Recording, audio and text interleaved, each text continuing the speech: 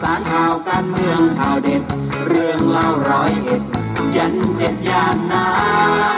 ทั่วทุกภูมิภาคติดตามกันถึงสุดลายสามช่องก้าโมเดินนา